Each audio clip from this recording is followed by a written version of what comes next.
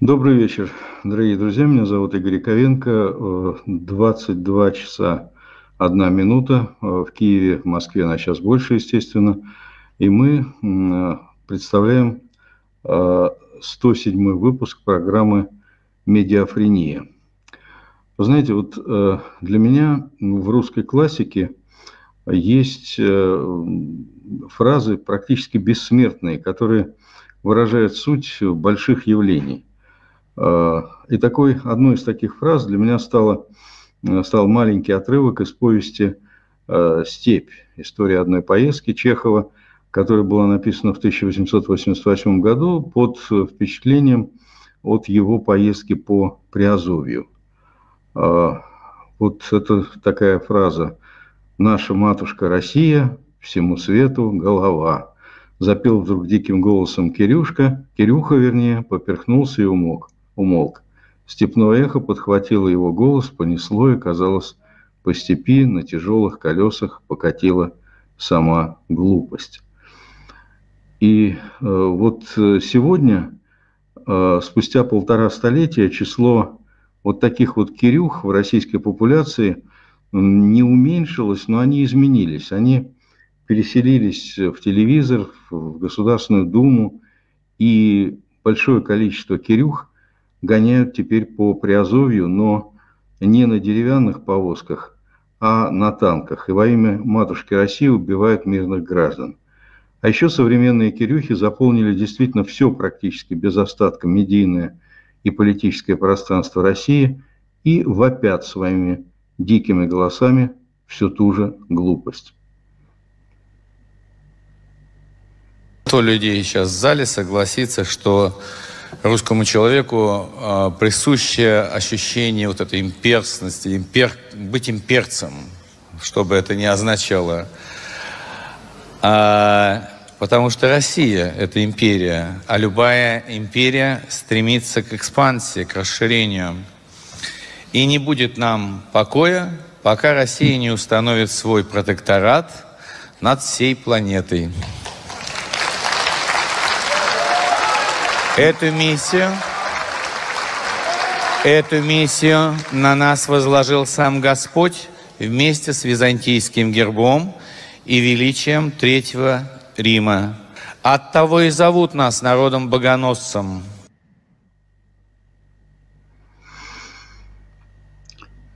Если Кирюха Иван Хлобыстин в российском медиапространстве занимает вполне комфортную нишу Шута Горохового, такого полезного юродивого, то э, Сергей Караганов, научный руководитель факультета мировой экономики, мировой политики э, Высшей школы экономики, человек, который долгие годы считался интеллектуалом, его даже какой-то западный журнал включил, включил в топ-100 интеллектуалов планеты. Ну, это они, конечно, погорячились, но тогда это была новость с пометкой «Вау». Но вот большая война, значит, ну, на самом деле, вот мое знакомство с, э, с тем, что делал и говорил Караганов э, до, скажем, вот войны против Украины, оно, в общем, производило впечатление такого человека достаточно занудного, но, ну, в целом, в общем-то, не, как-то не выдающегося из общего ряда вот этих вот э, докторов, профессоров, которые Э, представляет собой российское экспертное сообщество. Но вот большая война, начатая Путиным 24 февраля 2020 года, оказалась для карагановских мозгов непосильным испытанием. Он э, вполне себе отчетливо съехал с глузду и понес, понес абсолютно лютый вздор, требуя немедленно начать ядерные бомбардировки европейских городов. И вот свежая партия карагановского бреда. Э, смотрите, что он, что он пишет. Значит, опять-таки, Караганов, научный руководитель факультета мировой экономики, мировой политики Высшей школы экономики, пишет следующее. Европа – это самое худое, которое породило, что породило человечество за последние, по крайней мере, 500 лет. Уж точно это неоколониализм, расизм, множество геноцидов, нацизм и так далее. Надо их убрать. Но, естественно, мы будем любить Венецию. Почему Венецию – это отдельный разговор. Мы будем любить галерею уфийцы, но историческую Европу нужно спустить в ящик истории, чтобы она больше не портила жизнь человечеству. Американцы все-таки при всей моей нелюбви к ним ни одной мировой войны не развязали. Конец цитаты. Ну, э, что останется от э, России, если Европу спустить в ящик, в ящик истории, э, Караганов не пояснил. Возможно, потому что все-таки, несмотря на все свое, на, на, на эти приступы безумия, все-таки он точно знает, что если из России вычесть Европу, то не останется ничего. Ну, просто ноль, zero. Поскольку те, что надеются на Евразию или Азиопу, не понимают, что Иркутск, например, или Красноярск, находящиеся в географической Азии, на самом деле являются точно такими же европейскими городами, как Москва и Питер. А, впрочем, в биографии Сергея Александровича есть два факта, которые его связывают с Европой, имеется в виду Западной Европой. А, во-первых, он все-таки э, с 1988 года работает в Институте Европы Академии наук и э, является заместителем директора.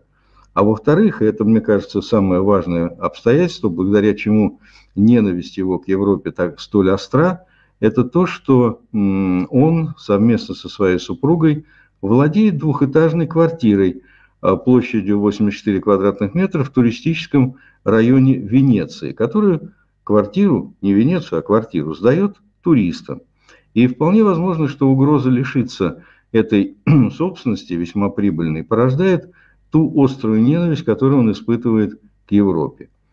И надо сказать, что тут у Сергея Александровича есть товарищ по несчастью. Э, это вечерний мудозвон, который так Европу ненавидит, что даже кушать не может. У меня масса друзей европейцев. Да нет Хороших, у меня больше норм... друзей европейцев. У меня есть хорошие, нормальные Но, люди. Да нет, они какой хороший. У меня, простой, у меня простой тест. Друг европеец, давай со мной сфотографируемся. Он скажет, ты что, издеваешься, я что уже под санкции попаду. Я говорю, ну тогда извини, вот такой ты друг. Вот такая у вас а вот это, Я да. наши фотографии выставляю, нет, ну, да, в поэтому, А человек, вот это так. Поэтому вот Потому так... что гендиры бию кулуарах побоялся подходить к моим Да потому что я и говорю. А на улице снова бросился Поэтому я говорю, когда бросился, в челюсть надо сразу. Нет, Тогда очень надо, хорошо надо поговорить обратно. и скачать информацию. Да ну. Ну, все эти объятия, вот в этом наша беда. Мы меня... постоянно им верим. А надо один раз им указать да их кто место. Им верит? Ну, вы меня... Постоянно. Нам надо один раз указать им их место. Да, конечно, э, жилищный, квартирный вопрос испортил, испортил их, но в данном случае квартирный вопрос с недвижимостью в Европе. Недвижимость э, в Италии, доступ к которой вечернему дозвон э, очевидно уже потерял навсегда, э, громко говорит о том, как сильно Соловьев не любит Европу и европейцев. Вообще имперство Кирюх-богоносцев неизбежно порождает в качестве кумиров. И главный кумир во главе этого кровавого пантеона э, – это Сталин. Это как раз тот персонаж, которого, который является абсолютным лидером по э, привязанности россиян во всех опросах. Но Кирюхи на этом э, не останавливаются, пытаются создать галерею, целую галерею культов палачей, в том числе Лаврентия Павловича Берии.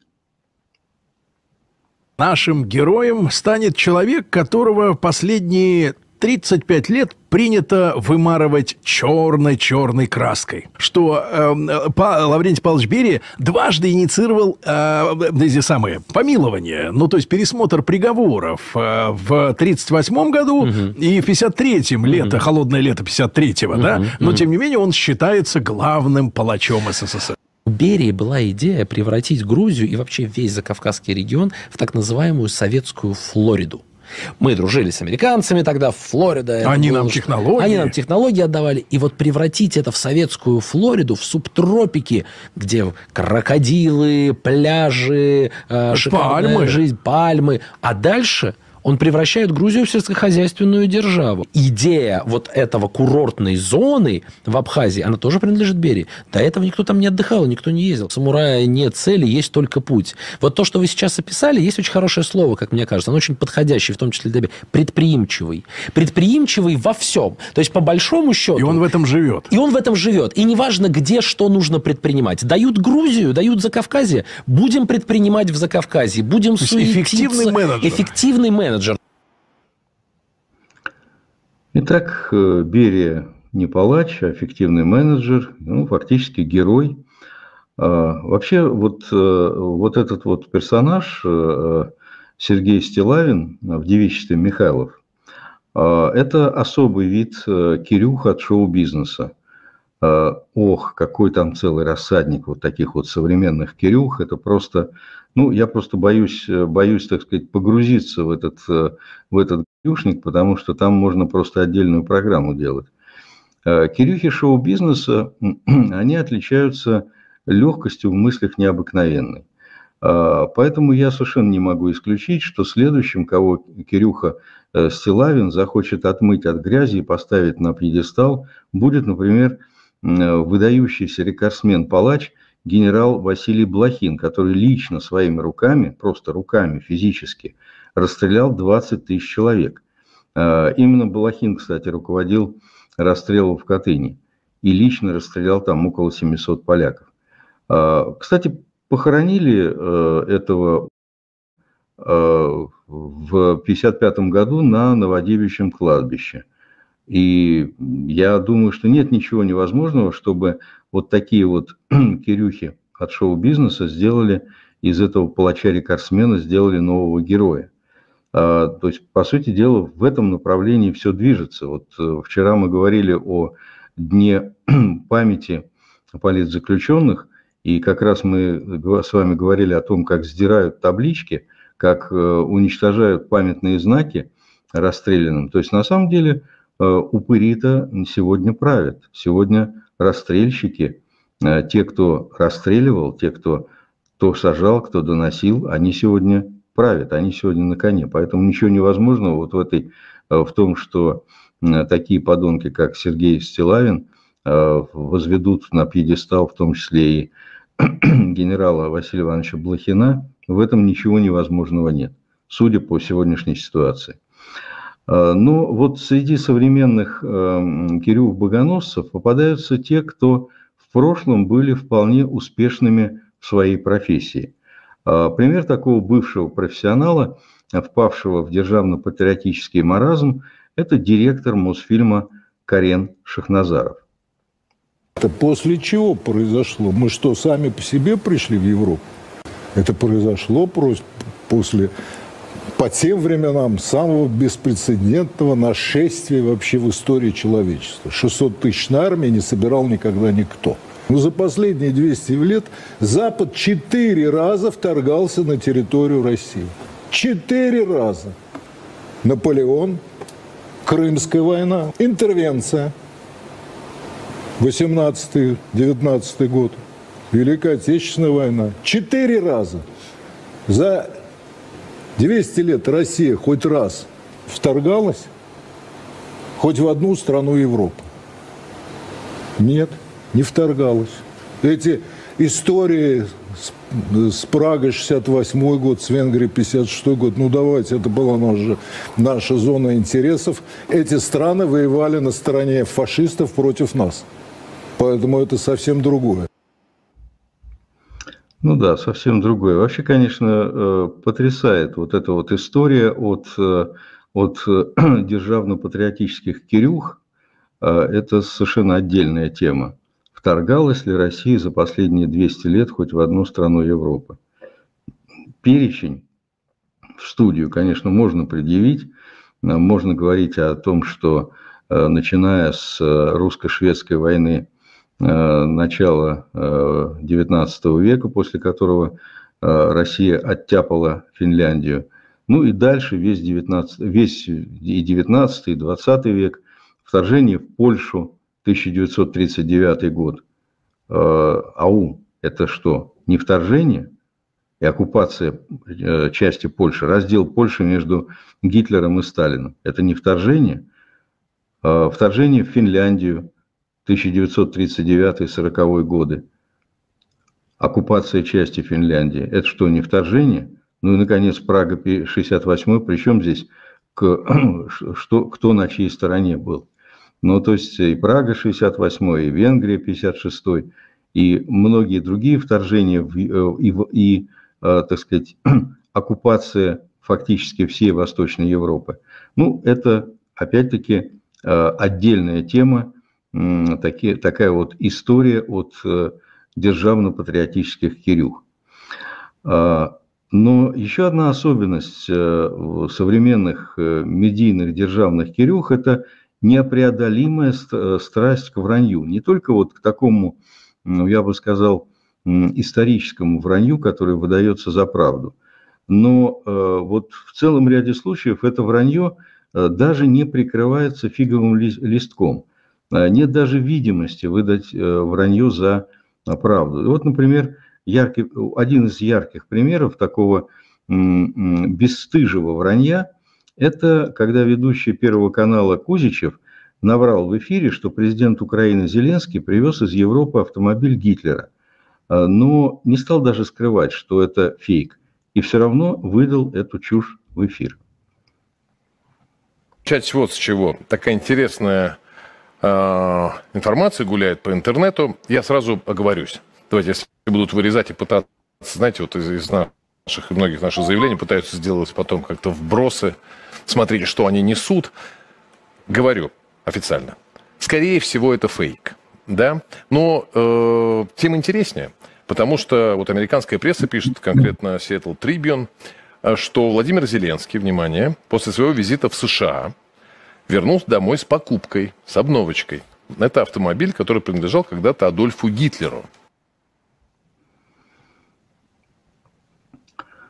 А, понимаете, вот э, на самом деле действительно э, прекрасно понимая, что это фейк, что это полная ерунда, тем не менее выдает это в эфир э, в расчете на то, что кто-то что-то не дослышит, кто-то что-то не поймет и пойдет гулять этот фейк. Запускается этот фейк, так же, как запускался мальчик в трусиках, как, так же, как запускались другие э, фейки. Вот пойдет гулять по интернету. Почему бы нет? То есть Э, ну, я уж не говорю о том, что кто является на самом деле поклонником э, э, атрибутов, там, фуражек Гитлера и так далее, кто хранит все это гитлеровское дерьмо в главном музее парка Патриот, уже давно известно. Но реальность, ситуация такая, что война против Украины, она требует от информационной обслуги перехода на совершенно новый уровень массовости производства фейков. И э, все чаще э, даже не надо присутствовать э, в кабинетах Кремля, чтобы понимать, что там все чаще э, звучат гневные голоса. Эрнст, Добродеев, где новые распятые мальчики, Соловьев и, и, и так далее. То есть, ну вот в духе, в духе Пригожина. Но очевидно, что Соловьев и Скобеева явно не справляются с таким потоком. Тем более, что и аудитория у них снижается очень резко, программы Соловьева уже скатились ниже э, топ-50 программ, то есть на самом деле на самое дно. И, ну, явно они не справляются с потоком. И поэтому приходится прибегать к помощи искусственного интеллекта, ну, а попросту к помощи кирюх роботов.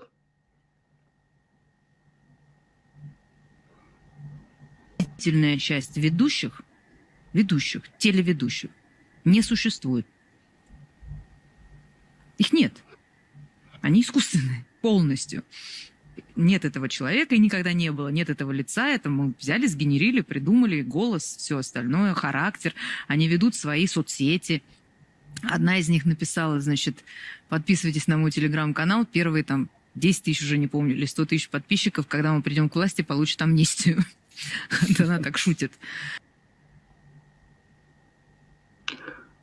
Ну, то есть, э, э, вы понимаете, что происходит. То есть, э, если еще там в начале этой войны, в 2014 году, им приходилось платить всяким бомжихам по 200 долларов, чтобы те рассказывали про распятых мальчиков и прочие зверства нацистской украинской хунты, то теперь ничего платить никому не надо, надо просто нарисовать.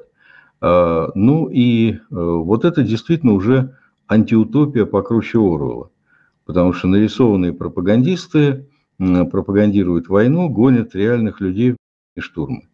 А, несуществующий э, ведущий объясняет э, какому-то ватнику в Хрущевке, почему ему необходимо срочно умереть за угледар.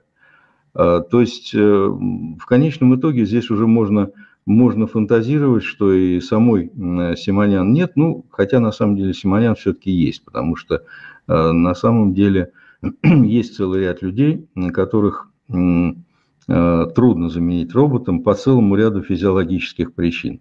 Вот один из тех, кого нельзя заменить роботом, это генерал Гурулев, в том числе и потому, что робот столько не выпьет. Вот и сегодня пришел домой. Ты ответь на вопрос, что ты для страны, для победы. Что ты сделал? Если ты на этот вопрос не ответил, то, друг мой, день прожит бесцельно. А в военное время это, по сути, предательство. Э, изумительная история, конечно. Вот э, любопытно, что генерал Гурулев делает для победы, когда приходит домой. Страшно себе представить. Э, вот действительно, вот пришел домой, что ты сделал для победы? Ну, обычно в таких случаях говорят, в глаза еще смотреть. А главное, где свидетели таких твоих домашних подвигов? Там, смог ли ты, там, придя домой, каким-то образом Э, взять, э, там, захватить очередную страну или убить каких-то каких украинских патриотов, э, нужны же доказательства в суде. И вот хорошо Маргарита Симонян и Тиграну Киасаяну, они всегда могут подтвердить, что и дома занимались безудержным и неистовым патриотизмом и неустанно ковали победу современный мир устроен так, что на основании просто того, что это когда-то было твое, это не повод. Раз уж какие-то люди до нас, даже несправедливо, даже неправильно так договорились, надо уважать международное право, ну, твое, ну, то же самое же происходило с Грузией, правда? У нас Абхазия просилась с 93 -го года в состав Российской Федерации. Они принимали на уровне парламентов, значит, бесконечно писали письма, принимали какие-то резолюции, еще чего-то. Они даже просились, был момент, в состав Краснодарского края. Просто очень просились. Возьмите нас, пожалуйста, в состав Краснодарского края. А, Укра... а Россия делала что? Россия говорила, нет, мы уважаем международное право. Как бы нам не хотелось иметь Абхазию в составе Краснодарского края, потому что красивее Абхазии лично я вообще не видела в мире ничего. А, поэтому, безусловно, такой цели никогда не было и никогда нет. И сейчас нет. Я вообще против присоединения к России любых территорий, жители которых не хотят быть присоединенными к России. Фантастическое существо. Действительно, никакой искусственный интеллект не способен сгенерировать такой сгусток, как Маргарита Симонян. Ну, пока, по крайней мере, не способна. Как знать, может быть, дойдет до этого. Бессмысленно, конечно, спрашивать э, Маргариту Симонян, зачем Путин полез в Украину, если какие-то люди до, до них договорились признать ее суверенитет и границы 91 года. А еще там какие-то гарантии безопасности давали. И зачем, если вы, если вы против того, чтобы присоединять территории, жители которых э, против России, зачем вы пытаетесь оккупировать те территории Украины, где вас точно ненавидят? Причем ненавидят все, люто ненавидят. Например, такие территории, как Запорожье и Херсон.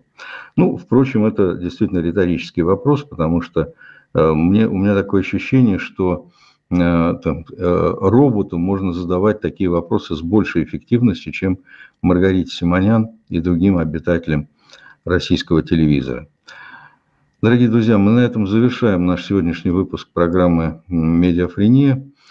Слава Украине! Берегите, пожалуйста, себя, свободу Александру Скобову, всем политзаключенным и украинским военнопленным.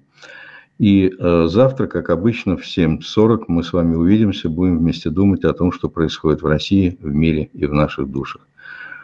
Доброй ночи, Берегите, пожалуйста, себя. До завтра. Увидимся.